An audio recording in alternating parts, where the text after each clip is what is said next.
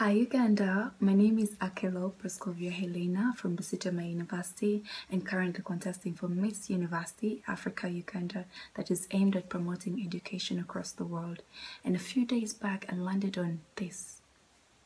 And it hit me so hard to know that my country is going through a crisis of unemployment.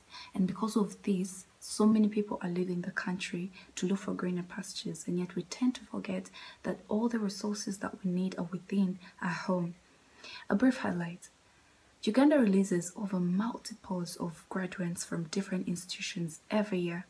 And the biggest questions at the end of the day in everyone's mind is what next?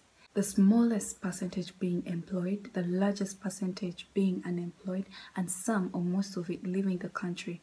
But then the graduates are supposed to write projects that are obligated to solving different problems across the country before graduation, which we don't give our attention to.